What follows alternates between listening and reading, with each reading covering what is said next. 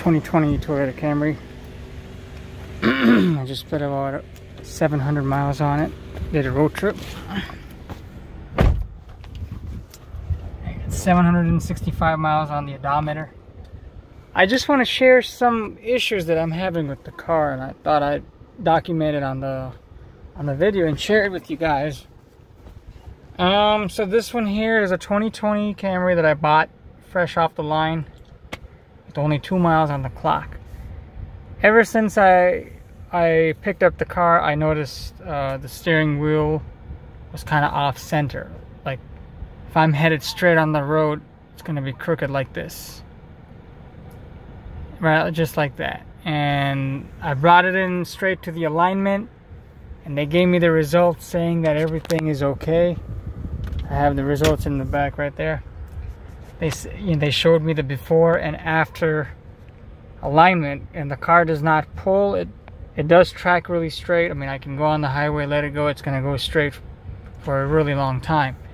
But the only thing is the steering is going to be crooked like this. If I'm on the left side of the highway, as you know, there's a crown. So if I'm on the left side of the highway, the steering will almost be straight just like that because I'm trying to fight with the crown now if I'm on the middle lane or the right lane it's crooked. Just like that. If the road is straight it's, it's gonna be crooked. And I know there is an issue with this. Uh, I had a 2018 Camry. That didn't have the alignment issue but it had other issues too. So that's uh, kind of disappointed with that. And uh, I took a little bit of a trip here. I came up to Alabama here. I drove the car a little bit and I can fully confirm that there that is an issue. So this is my first concern though, the off-center steering wheel. Um, I drove a rental 2020 RAV4 as you can see on my video. That had the same issue too. The steering wheel was a little bit off-center. The dealership was telling me that there is no issue with the alignment. The alignment checks out. Everything is good. But um, I'm not crazy and you know, I see there is an issue. it, it is kind of like that, and that's really, really frustrating if you buy a new car. So almost $31,000 car SE. This is has the premium package and everything, and rear cross traffic alert, blinds, everything. So it's loaded up. It's 28,000 plus some additional packages brings you up to $31,000, and it's kind of unacceptable to have issues like that. And then my second this is my first issue and I have another issue too. This passenger seat right here, this one right here, it has a problem with the reclining. It's stuck and when you push the when you push the, when you pull the lever, it should automatically move back and forth. And you should be able to do it, but you have to really use your force and try to move it yourself, which is I've never seen it like I mean my 2018 Camry was also manual reclining, it just has a hard time. Um, let me see if I can show you that exactly.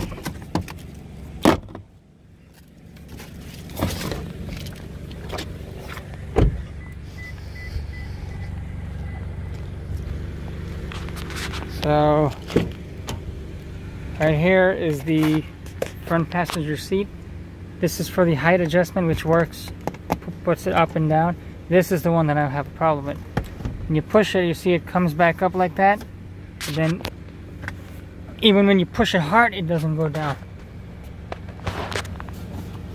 You have to really work with that to make it go down. It feels like it's stuck even though you put as much weight as you want on it and it's and then sometimes if you recline all the way back it's not going to get back up either it's just going to have a really hard time um, so this is my yes I've had the 18 Camry, that doesn't have any issues with the reclining. It goes back and forth pretty easily. This one has a problem. My wife noticed the same thing with that. Other than that, the car does ride very smooth. Um, for being an SE, it's fairly goes smoothly down the road. A little bit more quieter than my my 2018 model. Probably more sound dampening on this one here. But this alignment thing is one of the most annoying thing that I can pinpoint in a car. I'm very, very, I want things to be very particular. I don't want any issues. So this alignment being like that, it's very, uh, you know, it drives me nuts. the other car, the, the 2018 car, had, I had till about 60,000 miles, the alignment tracked straight. It didn't have any problems. Sometimes it did a little pull to the right, but uh, I, that didn't bother me as much. This is really annoying. I don't like that, especially in a new car with 765 miles on it. No, so I, I talked to my service advisor. We're gonna take it in again, see what they can do. I want I want this problem resolved. You know, this is ridiculous. And then the other Camry that I had, the 2018 Camry, had issues, uh, you know, with the wheel bearing and a couple of uh, warranty repairs like that. You know, premature brake wear, and I feel like that's just these. You know, Toyotas are good cars, but they're not making they're not making them like they used to. That's for sure.